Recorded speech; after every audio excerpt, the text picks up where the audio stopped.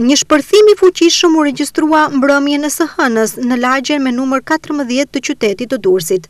Sipas policisë, lënda shpërthyese ish vendosur pranë rrethimit të oborrit të banesës së tridhjetë e gjashtë vjeçarit me inicialet SH në qytetin e Durrësit. Banesa e katit të parë që ish vendosur tritoli ndodhej shumë pranë Inspektoriatit Shtetëror Shëndetësor të Durrësit. Nga shpërthimi nuk u raportuan persona të lënduar, por vetëm dëme materiale, ndërkohë që policia po punon për zbulimin e autorëve. Në datën njëzet e gjashtë i dyti dy mijë e njëzet e katër, rreth orës nëntëmbëdhjetë e pesëdhjetë e pesë në lagjen me numër katër, në pjesën e jashtme të dritares së banesës së shtetasit me inicialet IK, në të cilën nuk banonte njeri, është hedhur dhe ka shpërthyer një sasi e vogël lëndë plasëse duke shkaktuar vetëm dëme materiale.